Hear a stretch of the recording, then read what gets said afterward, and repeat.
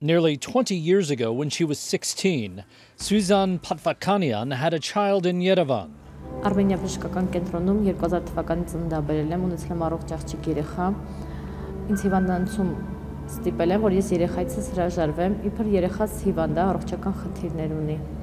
Ինձ մեկ հատ դատարկ թուղթ են տվել, որ ես երեխայցս հրաժարվեմ։ Ստիպել են, որ ես հրաժարվեմ։ Այդ սպիտակ դատարկ թղթի վրա գրել եմ այդ հրաժարականը։ Patvakanian says doctors threatened to report the father, who was 21 at the time, to the police. So she signed the release under pressure and hasn't seen her daughter since.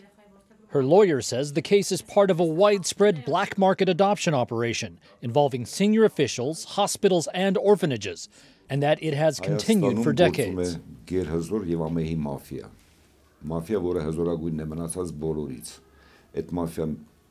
ունի կազմակերպված բնույթ, նրա գլուխ կանգնած են ուժային կառույցները, մասնավորապես գլխավոր դատախազությունը եւ այդ մաֆիան Հայաստանը վերածել է երեխաներ արտադրող ինկուբատորի, սարսափելի մի երևույթ։ In November, Armenia's National Security Service said it had launched a criminal investigation into numerous cases of foreigners illegally adopting Armenian children. The probe is focused on 54 children adopted by foreigners from 2016 to 2018, mostly by citizens of Italy and the United States, according to investigators.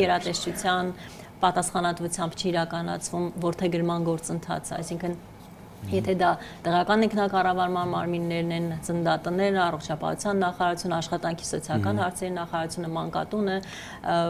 տարբեր կազմակերպություններ, ապա սա նշանակում է, որ այդ բոլոր կառույցներում կարող են լինել խնդիրներ։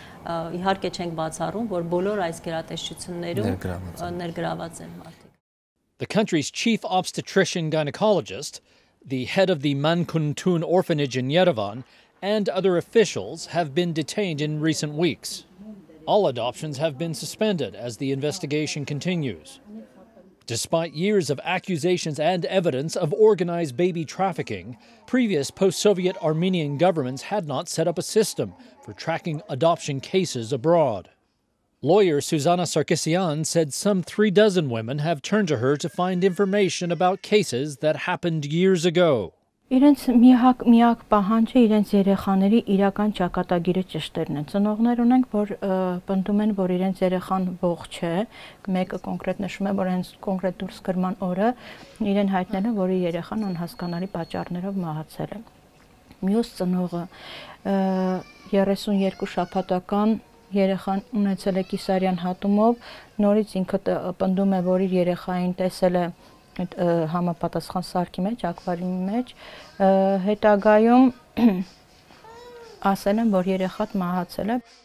Ես երեխայիս անվանակոչել եմ Ստելա Պատվականյան։ Ես փնտրում եմ երեխայիս, հաճախ ես երազս եմ տեսնում։ Ստելա մայրիկդ քեզ է փնտրում, ես մեկ րոպե անգամ չեմ լռելու, ես քեզ գտնելու եմ։ Ուզում անցնի տարիներ, ուզում անգամ մազերս ջերմակի, մեկ այս քեզ գտնելու եմ։